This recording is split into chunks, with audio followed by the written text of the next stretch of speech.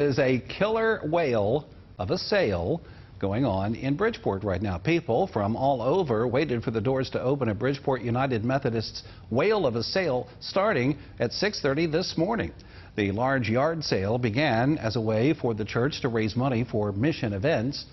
United Methodist women of the church organized this sale and say that it raises about $20,000 every year. We have everything but the kitchen sink, and one year we had the kitchen sink. So, uh, you know, people, you know, just bring everything. You know, there's lots of clothes, there's dishes, housewares. The money raised from the sale supports multiple groups in the community.